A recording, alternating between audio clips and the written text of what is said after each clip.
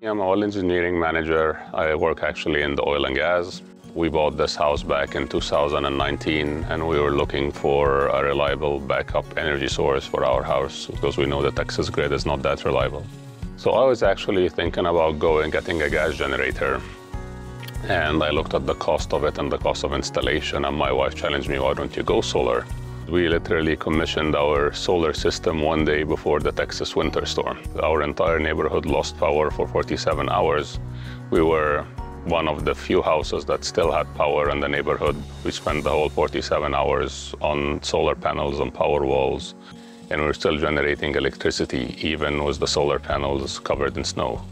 I would say like Freedom Solar have been great since working with them. They were very knowledgeable. Uh, as an engineer by nature, I had a lot of questions and a lot of design requirements. Like they always had the time, they're always very patient. They always had excellent customer support and the installation and the project were great without any hiccup.